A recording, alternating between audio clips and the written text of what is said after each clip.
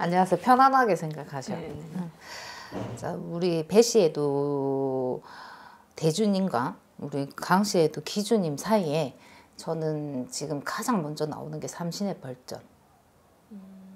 제가 그 뜻을 잘 모르겠어요. 삼신의 벌전이라 내가 아이를 이불로 지웠거나 뭐 이렇게 음. 이게 집안 가중으로 위로도 있어요. 본인도 있을지언정 어 이렇게 위에서부터 이렇게 뭔가 잘못되어서 자꾸 죄를 지었다 그래. 네. 이 우리가 아이를 잉태해 주는 그 신들이 있을 거잖아.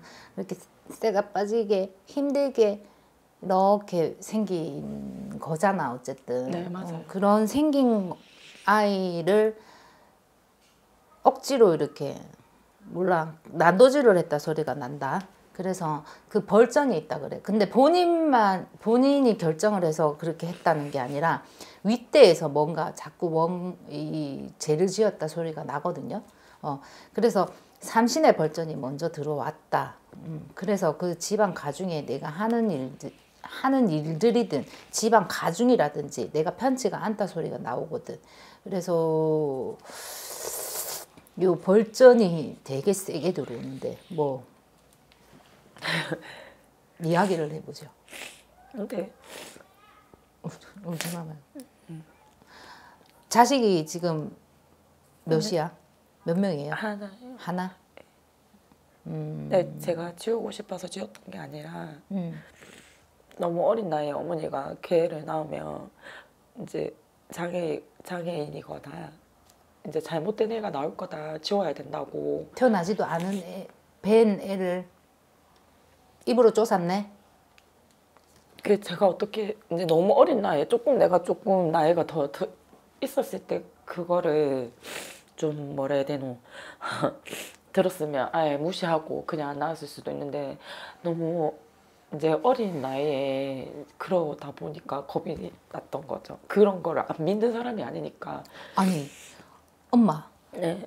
엄마가 나이도 얼마 안 된 엄마가 옛날에 우리는 장 그 뭐고 그 장애인 검사 해 보는 것도 있잖아 기영아 검사. 근데 그런 거랑은 이제 어머니가 너무 여기 맹신을 하고 있어가지고 뭐를? 그 스님을 너무 많이 믿고 있- 스님? 네, 스님이 그랬나 봐요. 무당 모르겠어요. 저 여차 스, 스님이라 했으니까 그냥 스님. 죄송한데요 그 스님 얘기하는데 그 스님이 스님 같이 보이지가 그러니까 않아요. 저희 그래서 저희 저희는 그때는 몰랐죠. 그래 이제 어머니가 너무나 믿고 있었으니까 저희 어머니가 저도 어머니가 저희한테 나쁘라고 그런 말을 했을 리가 없으니까 그래서 그렇게 흘러갔던 거였어요. 그래서 저 그래서 너무 그게 아직도 저는 싫었거든요. 싫었는데 그 상황이 그렇게 흘러가 가가지고 이제 이게요. 둘째, 둘째를 하나 더 놓으려고 신랑이랑 했는데 신랑이 이제 그때는 거부를 하는 거예요. 아들을 이제 놓기 벌- 싫다고. 어머니가 너무 아들 아들 하니까 딸 나올 때부터 계속 저거 아들이라면서 의사 선생님이 딸이라 했는데도 나오면서 아들이라 하니까 아들 놓기 싫다고. 자 시어머니가 완전 미쳐도 단단히 미쳤다 소리가 나고요. 어딘가에 미쳐 미쳤고 홀려 있고 그렇게 말이 나와요. 그리고 무당도 아니고 스님도 아니고 무슨 이, 무슨 예, 땡, 저희- 땡중 같. 네, 땡- 저희도 그렇게 믿고 있어요. 어. 그래서 이제 어머니랑 거기에 완전히 미쳐가지고 이- 있어서 집안 가중이 완전히 막 다 흔들리고 있어요. 어 살아계죠? 계속 지금 제 살아 계시고 그래서 저희가 중간에 이제 그걸 계기로 계속 이제 분가하면서 이런저런 일이 벌어지면서 분가하고 지금은 각자 다 따로 살고 있어요. 네. 이제 아, 대- 아, 니 신랑이랑 같이 사는데 이제 음, 어머니랑 음, 시부모니랑 시아버님도 그렇고 이렇게 그냥 다 분리돼서 살고 있어서 그게 맞는 것 같다. 일은 같이 하는데 어. 그게 저도 뭐 신랑이랑 사주도 별로 안 좋고 이혼 사주도 많은데 음. 서로 그냥 이렇게 많이 좀 참고 지내와가지고 지금 있, 있어서 사실은 두 사람이 같은 공간에서 일을 하게 되면 충이 날 거예요. 충이 많이 치고 들어와요. 어? 그래서 어떻게 결혼을 하면서 어떻게 뭐라 해야 되지? 이런 것들을 안 봤을 거 아니? 그 맹신하는 할매가. 음, 어머니는 빨리 시키고 싶어 했고 음. 우리 시 우리 아마 친정 쪽에서는 제가 나중에 물어봤거든요. 그러니까 엄마 하는 말이 이렇게 날짜를 여자 쪽에서 잡잖아요.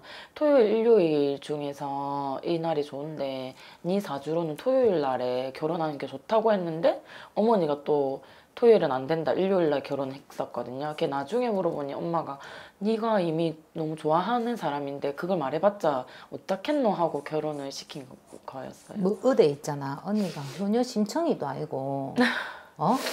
이 집안 가중에 무슨 볼모로 잡혀 들어가가지고 무슨 앵마지 앵마기를 하러 들어간 사람처럼 그렇게 보인다고 하신다 우리 할머니께서는. 어. 근데 제가 신랑을 좋아하니까 음.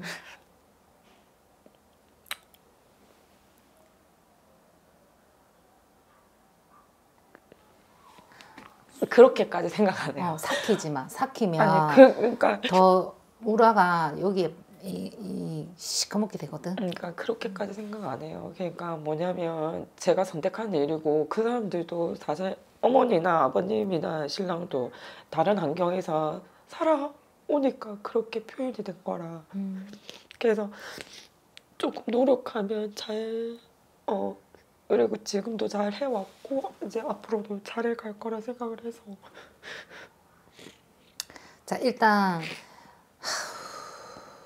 충 나는 거야. 충 이런 거 이렇게 어쨌든 하 뭐 사주상에 어쨌든 충이 나 있는 건 어쩔 수 없이 이렇게 하지만 그렇다고 해서 이게 나쁜 충, 나쁜 충, 완전히 나쁜 충 이런 거는 아니야. 언니 네. 걱정하지 마. 네. 어? 그러니 어 가장 중요한 거는 집안 가중으로다.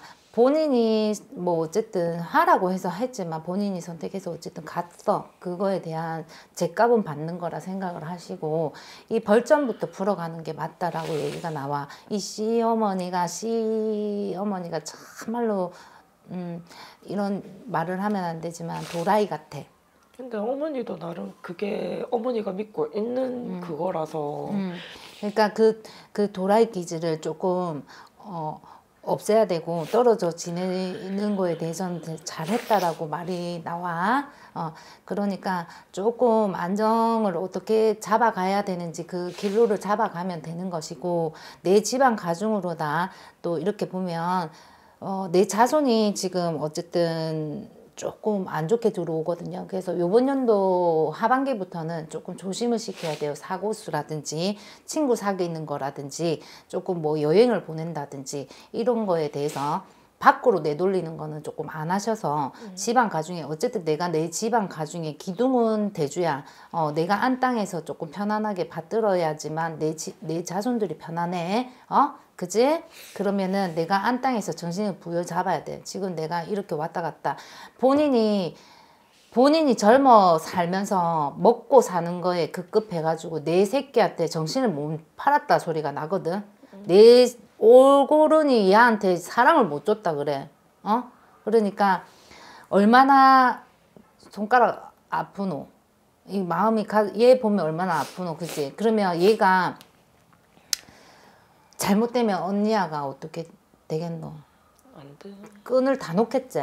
그 정신줄 다 놓기 전에 지금이라도 조금 애한테 몰두해서 조금 신경을 써주셨으면 좋겠고 아빠가 하시는 일이 내 업을 하고 살아가야 되는 사람 중에 하는 사람이야.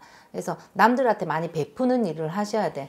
줄력은 찾아서 스님은 잘 찾아가 갔어. 갔는데 무슨 이상한 스님을 찾아가고 어, 어디 좀뭐 미쳐 있기는 하나 조금 그 잘못 갔던 길을 다시 똑바른 길로 오시면 된다 소리가 나. 어? 그래서 뭐 잘못되라고 이런 데 든 건 아니잖아. 그지? 그러면은 잘못된 거를 다시 요쪽으로 바로 요 길이 바른 길인데 하고 알려줄 때는 이 길로 오, 오라는 거야. 그러면 요 길로 오면 돼. 아시겠죠? 그러니까 울지만 말고 울고 있는다고 해결되는 것도 아니고 그자? 어, 그러니 그 효녀 심청이야 이 소리가 난다 그냥 효녀 심청이야 이 집안 가지고 시대 시월드에 들어가면서 무슨 이, 이 내가 막 공양미 300석에 뭐 몸을 던진다 하잖아 왜됐든 심청이 언니야 어쨌든 거기 가가지고 이양지사 들어갔으니 거기에서 또 어, 심청이가 어찌되든 나중에 뭐복 받더라 이가 그런 것처럼 복 받는다. 어쨌든 내 마음에서 공을 쌓고 덕을 지어 놓으면 내 자손이 바로 가게끔 그래도 하나쯤은 바람 안 불게끔 그렇게 조금 잠재워 가시는 게 맞다 소리가 나시고 어, 무당집에 미친 할머니야 어쨌든 어, 윗대에서 본인만 그런 게 아니라 윗대에서도 지어놓은 벌전들이 많단 말이야. 그 벌전들을 위에서부터 하나씩 하나씩 풀어 나와야 돼요. 아시겠죠? 그러니까 그런 바람들이 있어서 그런 거야. 그리고 본인이 지금 하는 일이 뭔지는 모르겠으나 내가 문서들 문서들이 자꾸 보이기 시작 보, 보이거든. 그래서 뭔가 계약하는 것들이 자꾸 보여. 그러니까 뭔가 내가 내 스스로를 어필을 하고 어, 자꾸 홍보를 하고 뭔가 하라 소리가 나거든.